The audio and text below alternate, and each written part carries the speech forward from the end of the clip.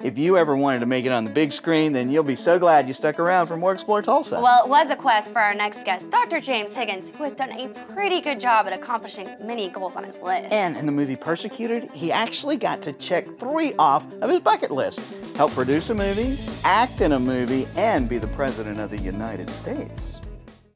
Actually, um, I played basketball in college, and uh, at, at the time that this event occurred, and we went to a national Division II basketball tournament.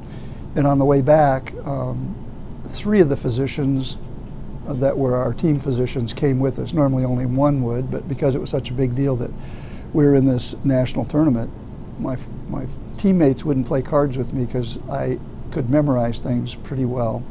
So um, I played with the three physicians and took them for about 125 bucks, which back then and 72 is a lot of money.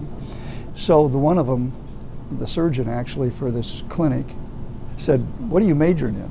And I said, "Electrical engineering." He says, "Why are you majoring in that?" And he said, "Well, you, you don't want to be an engineer. You want to be a doctor." And I said, "Oh, I don't know if I can stand the sight of blood." So Dr. McCabe took me to the operating room to watch, and watching him do one surgery, and just said, "Man, I'm going to do this." Really, when I was 20 years old, I started a list of things I wanted to do before I died. And so one of the things that I initially put on is to be in a movie. And it took until I was 60, 62 years of age to, to get that goal. I got a small part, but it, luckily it's an important part. It's the President of the United States. So I knew they probably couldn't cut my lines. and, um, you know, I'm very pleased with the film. I think it's very good entertainment.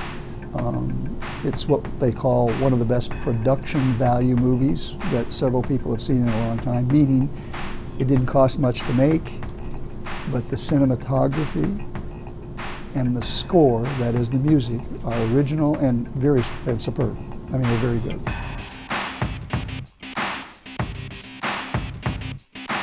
You know, just to do one scene, to do my scenes, which probably last a minute each in the movie, it takes four hours to film them.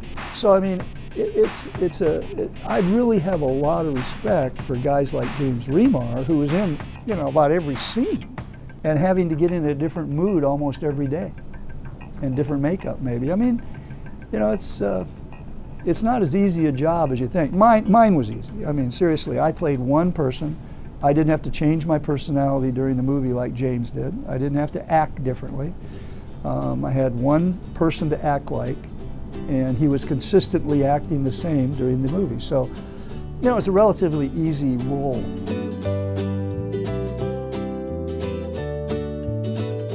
You never do it on, by yourself. I never. I obviously didn't do this movie by myself. I mean, I couldn't.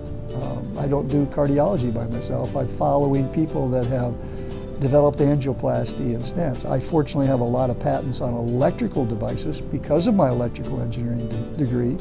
Um, but I didn't do those by myself either.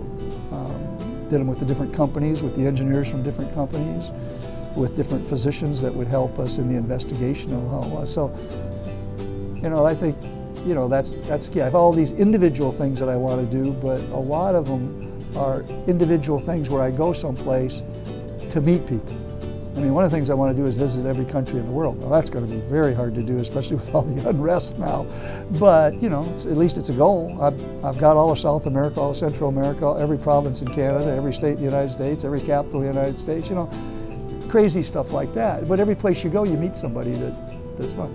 And I also tell people, at least in the United States, you know, I grew up in South Dakota, been to Arizona State, uh, been to Portland, Oregon, uh, been to Boston, been to Rochester, New York, been to uh, in, in San, San Antonio, Tulsa, and every one of those places I just mentioned where I spent time training, I could go and live.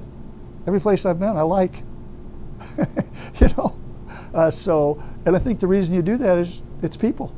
I mean, there's always someone there that's just like you or someone you can get along with, and usually there's more than one. There's usually 20.